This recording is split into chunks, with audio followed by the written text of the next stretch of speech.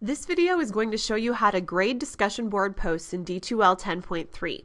When grading, you have the opportunity to see every post or reply a student made on a specific topic and assign points, either for the entire topic as a whole or for individual posts and replies. The first step to this process is setting up your discussion board topic to be graded.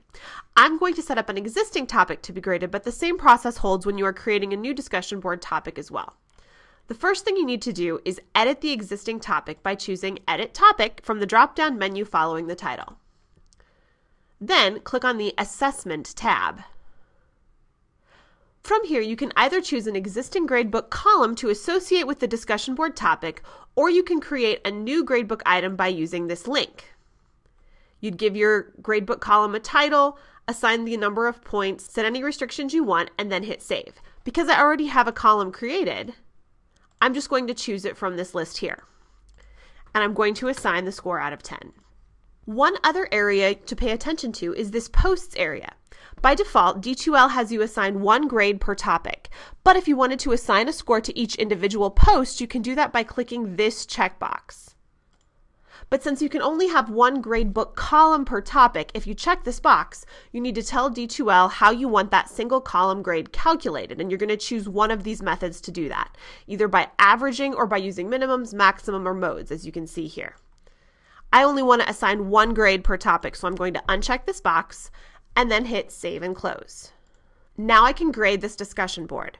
Notice that the text right below the topic title now says includes assessment, which confirms that this topic is now gradable. When I click on this topic menu, I now see an assess topic option. I'm going to click that to begin grading this discussion board. On this screen, I can view and grade individual responses by clicking on the topic score link for the student I wish to assess. Or I can switch to the assessments tab and then click on the student's name to begin grading them. Clicking on the student's name or on the topic score link will bring up a window with every post and reply the student made in this particular topic.